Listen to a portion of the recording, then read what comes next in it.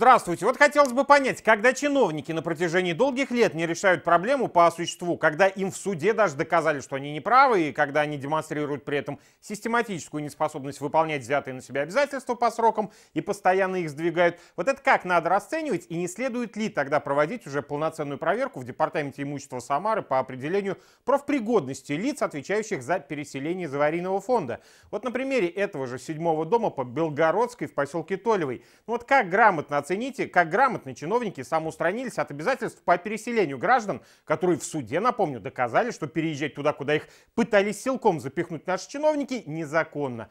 И вот из года в год потом одни отписки. Нам ежегодно слали письма, что до конца вот следующего года нас переселят. В 11 12 в позапрошлом году, в 15 году. Последнее уведомление мы получили в 16 году, что мы будем выселены до 30.06 2017 года. Ага, переселят, если будут выделены дополнительные деньги. Это следует из официальных ответов. А вот будут ли деньги? Кто из какой радости их вдруг выделит? Ну, мы же понимаем, да, что никто из чиновников чесаться на этот счет не будет. Но это же уже проблема жильцов аварийных домов. Коли не согласны на Озерный, ну и тухните в своих развалюхах. В департаменте имущества, видимо, считают, что это все нормально. Ну, люди же остаются в рамках этой самой программы. Но в рамках этой программы для них есть только один вариант, озерный. Ну, то есть тот вариант, который судом доказано, что не подходит, и только вот этот вариант один, ну, переезжать туда, замкнутый круг, в котором формально чиновники все-таки от претензий на другое жилье могут уже отмахнуться.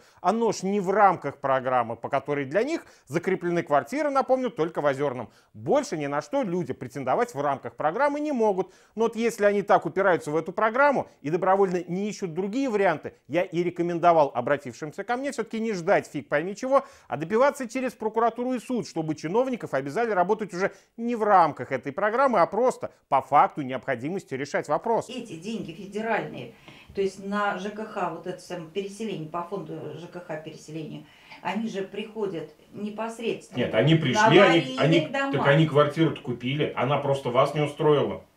Но ну, квартира-то куплена, деньги-то потрачены, тут всего денег нет. Ну, они же предложили э, жилье хуже нашего. Да это понятно, но деньги потрачены на это жилье. Это уже неэффективное, нецелевое там расходование бюджетных средств. Но те деньги, которые по этой программе были присланы, они потратили вот на такое жилье.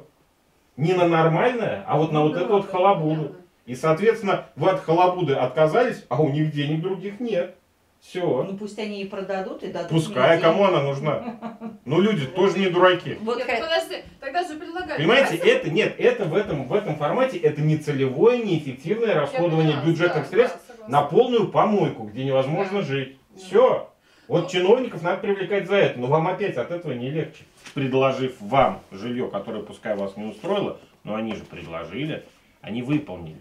у них э, сейчас нет юридических обязательств Э, в случае вашего отказа, причем обоснованного отказа, у них нет юридических обязательств вам предлагать что-то другое. У них вот написано же в текстовке, что э, что-то другое может быть, если будут выделены деньги э, на целевое приобретение. То есть, а будут ли эти деньги, кто их должен, на каких основаниях выделять, а если не будет денег, то что? Вот этого всего нет, и поэтому как бы вроде бы они ничего и не должны. Поэтому выход у вас только один.